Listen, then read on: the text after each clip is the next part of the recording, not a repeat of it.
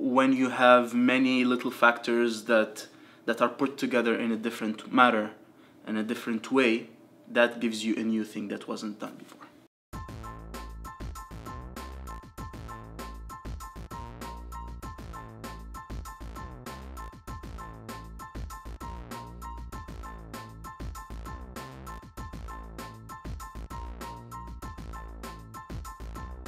My name is Suhaib Orais. I'm the Vice President of UAV Concordia uh, and the pilot, not for this competition, but uh, for other competitions, I guess.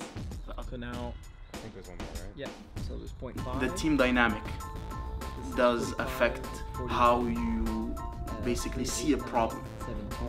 Yeah, I remember being told Because it seems to be the only thing that allows me to do a second search grid without caring about where the geofence is. We decomposed the, the whole project into mini projects, let's say, and teams have worked. And I think at the moment we have a drone that's capable of doing most of the missions. So, from a design standpoint, the Condor 2 actually features six powerful motors that allow it to increase its battery capacity and payload. is exceptionally sturdy considering it has withstood countless crash landings. Has a very strong battery cradle to keep those precious lithos and lipos under control. Is an absolute work of art in wiring that just makes you want to bleed your eyes out, and is held together by tape, Velcro, hope, and the dried tears of sleeplessness.